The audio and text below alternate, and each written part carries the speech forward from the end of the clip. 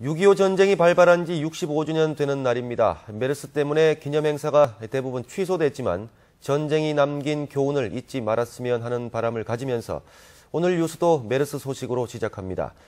대구의 첫 메르스 확진 환자 김 씨가 내일 퇴원합니다.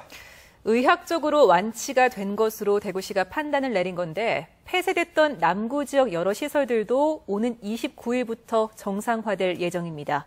금교신 기자가 취재했습니다. 대구 첫 메르스 확진 환자 김 씨의 2차 검사 결과 음성으로 나왔습니다. 김 씨가 1, 2차 검사에서 모두 음성으로 나오면서 대구시는 자문 교수단과 회의 끝에 김 씨가 의학적으로 완치된 만큼 내일 퇴원시키기로 최종 결정했습니다. 김 씨는 당분간 자신의 집에서 가족들과 요양할 예정입니다. 어, 본인의 심리적인 안정이나 여러 가지 상황을 종합해가지고 한 일주일 정도 집에서 자가 요양하는 것이 좋겠다. 음.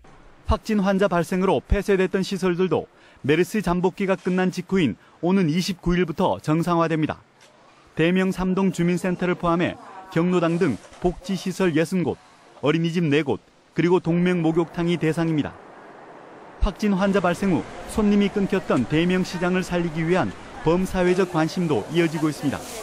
대구시의회 의원들은 대명 시장을 찾아 장도 보고 식사도 한 뒤 상인들의 의견을 수렴했습니다. 예, 메르스 사태와 관련된 상인들의 피해를 최대한으로 보상하고 예, 상인들이 다시 화기를 찾을 수 있도록 예, 대구시 의회 차원에서 최선의 노력을 다하겠습니다. 지역 여성계도 적극 동참해 오늘과 내일 130여 명이 대명시장에서 장보기 행사를 이어가고 자유총연맹과 새마을회 등 사회단체들도 함께할 예정입니다. 또 대구도시철도공사가 전통시장 활성화를 위해 2억 원의 온누리 상품권을 구입하기로 결정하는 등 메르스 극복을 위한 사회적 참여가 확산되고 있습니다. MBC 뉴스 금교신입니다.